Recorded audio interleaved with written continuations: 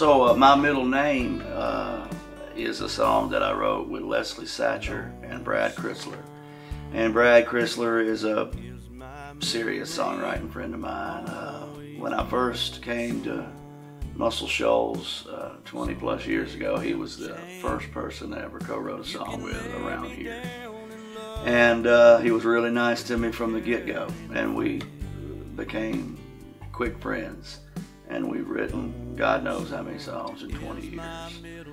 And so um, he knew I was putting this record together, and he wanted to uh, write something with me that would be on the record. And so me and Brad and Leslie scheduled a day to write specifically for this record. So that was really neat. And um, that song and, a, and another song, uh, only two songs that were specifically written for this record. But that kind of makes my middle name stand out a little bit.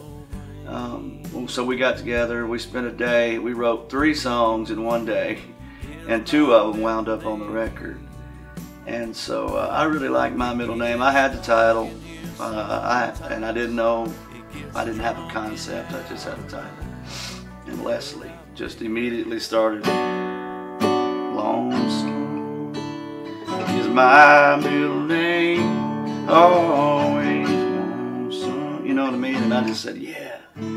That was, it was just great. That's just when it flows like that. It's a, it's an amazing day writing songs when it happens like that. And then I chimed in with crazy, you know, stuff like that, and uh, and then I chimed in with the chorus, and uh, it was a great day. And uh, one of one of my favorite songs. I guess I've said that about every song, but this is uh, also one of my favorite songs on the record.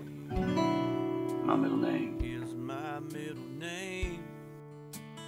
Leave me the same way that you came. It'll hurt, but it won't break me if my love for you's in